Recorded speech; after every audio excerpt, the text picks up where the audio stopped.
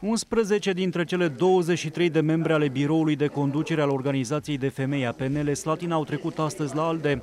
Fosta președintă a organizației femeilor liberale din județ a explicat de ce au făcut un astfel de gest politic.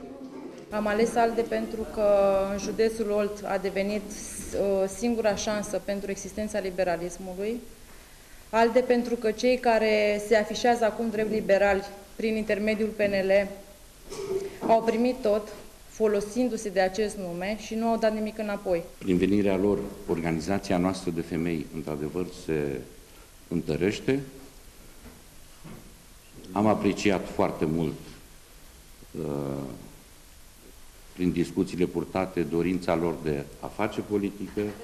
Transferul politic parafat astăzi nu este primul. A plecat la ALDE mai întâi Dan Stana, fost prim vicepreședinte al PNL Olt, urmat de fostul candidat liberal la primăria Slatina, Marius Bălașa. PNL Olt a pierdut cei mai mulți oameni în favoarea ALDE Olt, după decesul în luna octombrie a președintelui organizației Ion Moisescu.